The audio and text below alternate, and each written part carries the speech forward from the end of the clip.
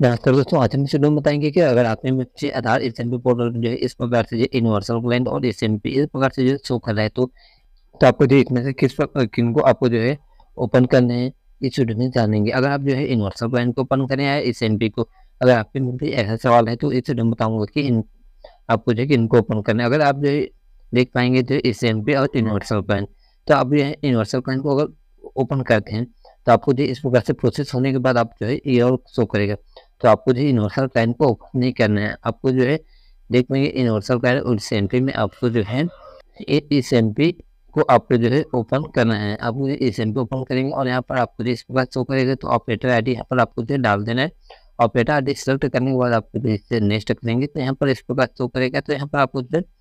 आपको जो iris capture कर लेना है आयरिस कैप्चर करने के बाद आपको जो है यहाँ पर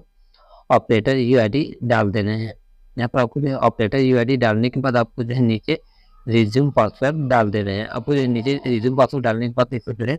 लॉगिन कर लेना है। लॉग इन करने के बाद आपको जैसे ओके करेंगे, इसे भी ओके करेंगे और यहाँ पर आप देखेंगे ऑपरेटर डिस्क्लोजर यहाँ पर आपको जो ऑपरेटर डिस्क्लोजर कर लेना है और यहाँ पर आईरिस कैप्चर कर लेना है। आईरिस कैप्चर करने के बाद आपको जिसे ओके कहेंगे और प्रोसेस होने स्टार्ट हो जाएगा। हो सकता है यहाँ पर आपको जो रोड शो करेगा तो यहाँ पर दोबारा आपको जो फिर से ट्राई करेंगे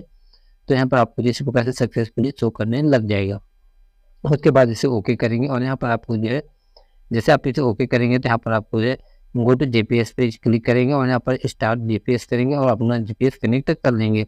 जीपीएस कनेक्ट करने के बाद आपको जो है एक्टिव होने के बाद यहाँ पर इसको कैसे शो करेंगे, इसे सेव करेंगे और ओके कर देंगे। ओके करने के बाद आपको जो है ऑफलाइन ऑनलाइन जो भी आप किसी अपडेट करना चाहते हैं, उस पर आप जो फिर से आधार एस पे जो है वर्क करना स्टार्ट कर लेंगे। आशा करता हूँ आपका जो सवाल था वो मिल गया होगा। धन्यवाद।